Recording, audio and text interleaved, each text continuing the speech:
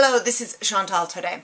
So this is an interesting story. Best Buy has hired away from Starbucks um, its Chief Intelligence Officer, Stephen Gillett, who will um, run a new um, digital and global business services division at Best Buy.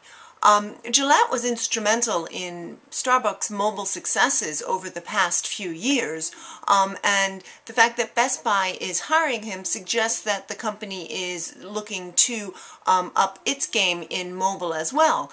Um, Best Buy is already considered to be one of the um, pioneers in mobile retail.